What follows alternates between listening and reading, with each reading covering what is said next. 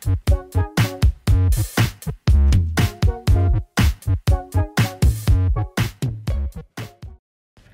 semua, selamat hari Minggu. Kali ini saya mau berbagi resep gami ala-ala Yupi gitu loh. Dari dulu pengen banget bikin gami sendiri, cuman baru kali ini kesampaian. Ternyata cara bikinnya gampang banget dan bahan-bahannya juga simple. Selamat mencoba.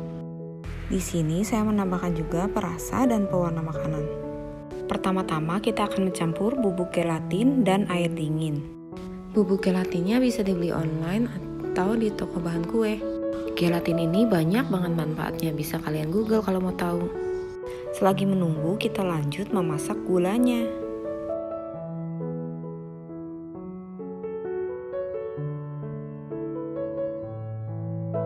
Nah, di sini kita akan mendidihkan air dan gulanya. Tandanya sudah mendidih, buihnya terlihat lebih banyak. Nah, kalau udah berbuih seperti ini, langsung kecilkan apinya ya. Dan terus didihkan hingga kurang lebih 5 menit sampai terlihat mengental ya.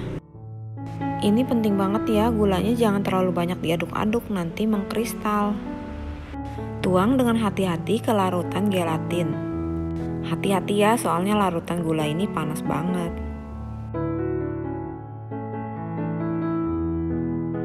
Nah, di sini saya menambahkan citric acid. Bisa dibeli graman, cuma di sini saya pakai yang gampang aja yang dari Nutrijel ya. Cuma kalau nggak mau pakai juga nggak apa-apa kok. Kalian bisa pakai perasa makanan juga. Adonannya dibagi sesuai warna dan rasa yang kalian inginkan.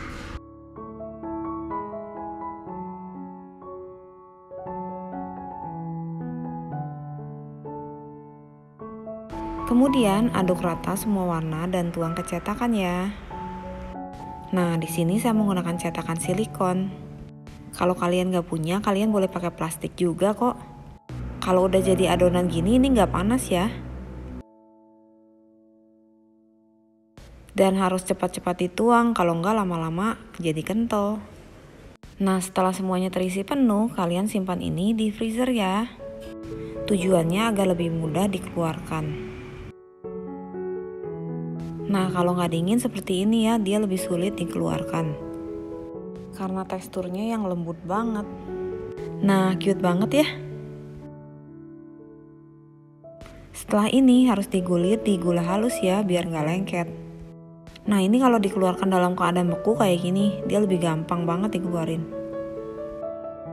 Biarpun di freezer, dia nggak bakaran keras kok. Nah, di sini saya pakai gula biasa yang di blender.